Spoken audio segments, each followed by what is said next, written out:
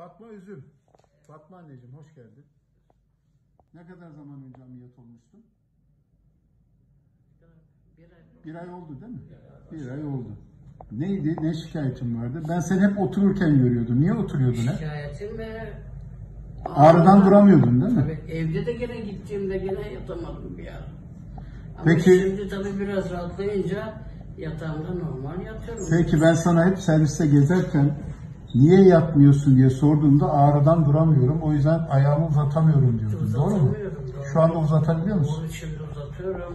Yatıyorum, akşam yatıyorum, sabah kalkıyorum maşallah. Bir Maşallah.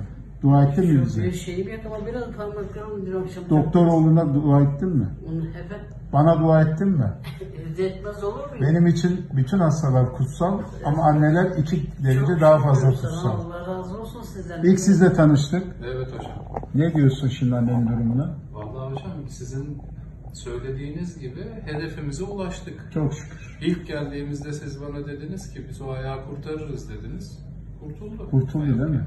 En azından parmaklar zaten kötüydü ama bütün ayak tehdit altındaydı. Tabii tabii. Yani Ben biz hepimiz- geldiğimizde zaten hocam parmaklar Hatta ağrıdan duramıyor diye erken yatırdık. Değil mi? Apar topar geldi. 3 hafta, üç Böbrekleri hafta hocam kötüydü. uyku uyuyamadı gece. Değil mi? Anne.